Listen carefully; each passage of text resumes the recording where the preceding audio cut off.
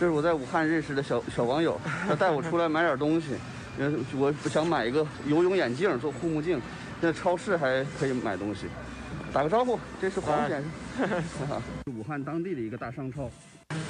还有一个小时就关门了，东西还是挺多的嘛。游泳眼镜，嗯，没看出有多好来。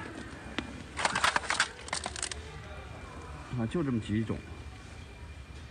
其他地方基本没人，人都集中在卖菜、卖水果、卖肉这个区域了。菜价这算是可以的吧？铁棍山药、白萝卜、豆角。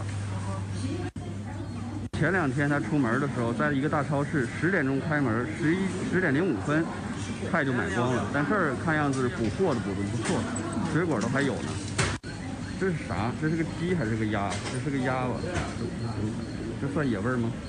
猪肚这一盒六十五，鸡翅根十九块八，储备冻肉投放，五花肉十九块钱吗？OK，这师傅正在给这只猪做美甲。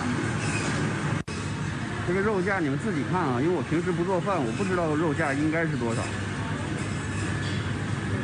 嗯，看着我都想吃火锅了。我来这两天天天吃便利店，恶心死我了。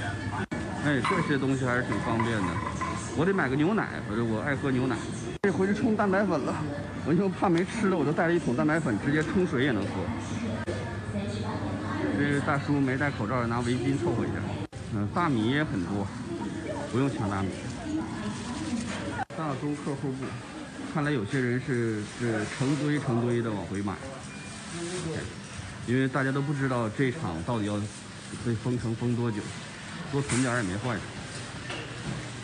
志玲姐姐，呃，小药店，但是这个摊儿也是关了，好多药店都关了，也不知道是为啥。反正吃饭的地方基本上都不开。这陈明是我认识的为数不多的武汉人。他还是武汉消防宣传公益大使，就在电梯里突然碰见一个熟人的脸，感觉很奇怪，你知道吗？我来武汉我也不敢联系他，你说，人家有老婆有孩子的。